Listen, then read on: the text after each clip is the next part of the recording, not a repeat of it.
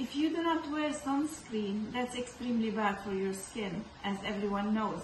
You will get a sunburn, and that will increase your chances dramatically of developing skin cancer later in the future. Moreover, you will have a painful sunburn, so it's very uncomfortable and very painful. And the third thing is you will uh, have much worse wrinkles in the future if you do not wear your sunscreen now. So 90% of wrinkles and skin aging is due to unprotected sun exposure.